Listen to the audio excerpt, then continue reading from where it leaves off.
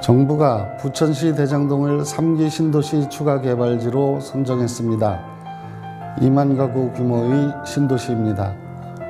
3기 신도시 사업은 정부의 집값 안정 정책 중 공급 부문의 핵심 정책입니다.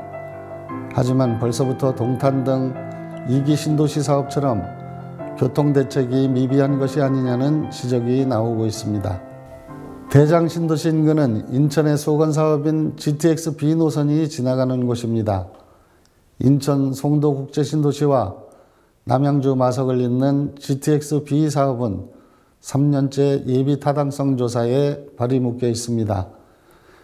지난해 착공식을 마친 GTX A 노선이나 곧 기본계획 용역을 시작하는 GTX C 노선과 달리 사업 추진 여부도 확정짓지 못한 상태라는 점은 아쉽습니다. 신도시 사업의 성패는 교통망 구축에 달려있다 해도 과언이 아닙니다. 국토부는 부천 대장 신도시의 서울 접근성을 높이기 위해 김포공항역과 부천 종업운동장역을 잇는 총 17.3km 길이의 SBRT를 설치할 계획입니다. 부천 종합운동장역은 GTX B 노선의 정거장이 들어서는 곳이기도 합니다. 국토부는 대장 신도시에서 서울역까지 SBRT와 GTX B를 이용할 경우 소요 시간이 30분, 여의도까지는 25분 정도가 소요될 것으로 예상했습니다. 그러나 전문가들은 신도시 성공의 요건인 선교통 후개발을 충족하기에는 부족하다고 지적하고 있습니다.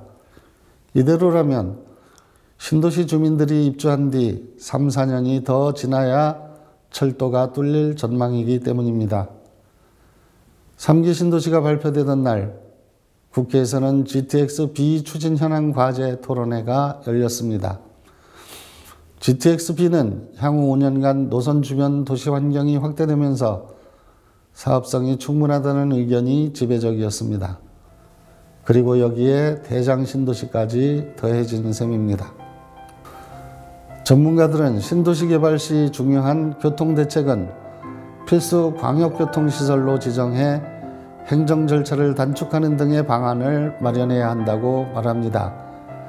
3기 신도시 사업의 성공을 위해서라도 GTX B 사업이 제 속도를 내야 한다는 주장이 더욱 설득력을 얻고 있는 것입니다. 인천일보 TV 논평이었습니다.